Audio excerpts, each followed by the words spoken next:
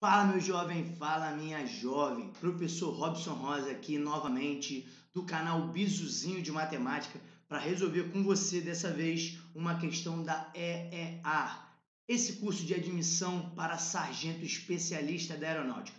Para você que não me segue, aperta logo esse botão aqui para me seguir e ficar por dentro de todas as minhas publicações. Diariamente eu estou produzindo conteúdo para você, resolvendo questões desse concurso que você vai fazer e passar nesse ano. Beleza? Essa questão é uma questão que caiu em concursos anteriores e é a questão de número 9, lá da nossa apostila Bizuzinho ESA EA. Questão, apostila de questões da ESA e da EA. O link está aqui na descrição do vídeo. Beleza? Vamos parar de papo e vamos resolver essa questão. Vamos lá. Considere os algarismos 1, 2, 3, 4, 5 e 6. A partir deles, podem ser criados, parará, parará, números pares de quatro algarismos.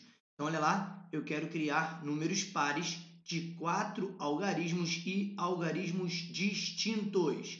Eu quero que você me diga quantos podem ser criados. Então, vamos começar do básico. Eu preciso aqui ó, de quatro algarismos e eu tenho seis algarismos para formar esses quatro.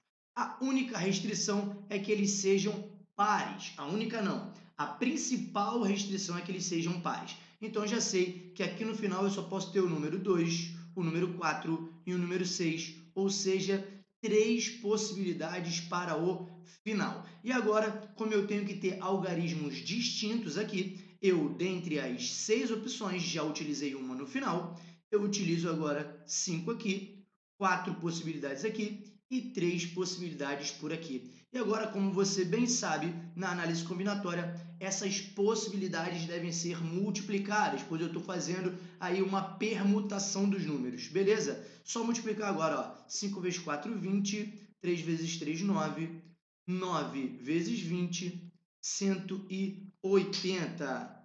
Alternativa correta, letra C. Gostou do nosso conteúdo? Então não esqueça de deixar o seu joinha aí, o seu comentário caso tenha ficado alguma dúvida e aperta esse botão de inscrição e se inscreva no nosso canal. Fique com Deus, um grande abraço e até a próxima!